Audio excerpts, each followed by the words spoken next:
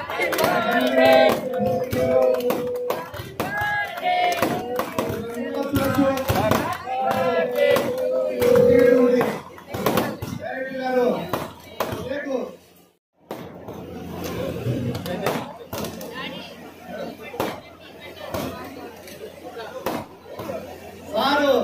పుట్టినరోజు యాక్చువల్గా అయితే